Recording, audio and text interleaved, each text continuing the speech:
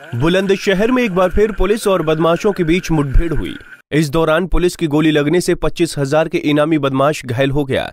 आपको बता दें कि इनामी बदमाश साल 2017 में सिकंदराबाद में हुए चर्चित अमित हत्याकांड का मुख्य आरोपी है और हत्या के बाद से इनामी बदमाश फरार चल रहा है, जिसकी पुलिस को सरगर्मी से तलाश थी। फ़िलहाल पुलिस ने घायल बदमाश को अस्पताल में भर्ती करा दिया है। यहाँ घायल का इलाज चल रहा है। हुई की घटना है। हमारी पुलिस नाकाबंदी गाड़ाबंदी और बदमाशों की तलाश में मूवमेंट में थी। उसी दौरान एक बदमाश जाते हुए दिखाई दिया।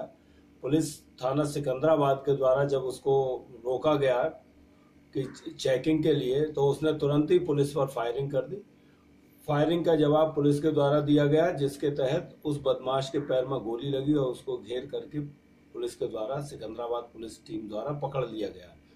वहीं दूसरी ओर मेरठ में अपराधों पर रोक लगाने के लिए लगातार चल रही धरपकड़ में पुलिस को बड़ी सफलता हाथ लगी है। यहाँ पुलिस ने 1999 से चल रहे कुख्यात इनामी बदमाश सहित अलग अलग थानों से सात अपराधियों को धर दबोचा।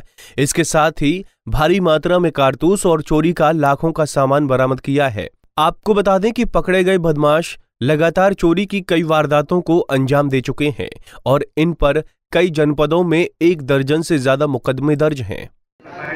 थाना गोविंद नगर पुलिस ने एक इंटर डिस्ट्रिक्ट गैंग पकड़ा और जिनसे हम उन्होंने डिटेल इंट्रोगेट किया था और इन्होंने अपने मुँह से करीब पंद्रह से ज़्यादा चोरियों को कबूला। है अभी चार दिन पहले थाना हाईवे में ये घर में इन्होंने चोरी किया, टारगेट करके वो शिक्षक थे, वो पढ़ाने गए थे। और उसके आधार पे पूरी पूरी वो बरामद हुआ है, उनकी टीवी बरामद हुई है, जो जेवरात वो बरामद हुआ है। इनसे भारी मात्रा में जो लाकर को तोड़ने के लिए जो इंस्ट्रूमेंट चाहिए इक्विपमेंट चाहिए, वो बरामद हुआ है पूरा का पूरा। वहीं पुलिस ने पकड़े गए शातिर चोरों को जेल भेज दिया है और गैंग के अन्य सदस्यों की गिरफ्तारी के लिए दबिश दी जा रही है।